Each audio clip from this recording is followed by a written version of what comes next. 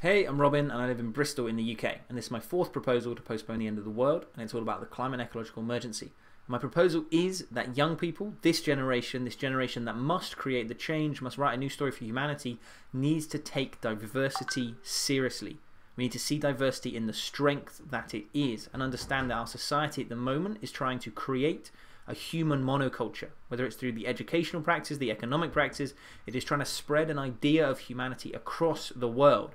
And what we know is that when times get tough, monocultures die.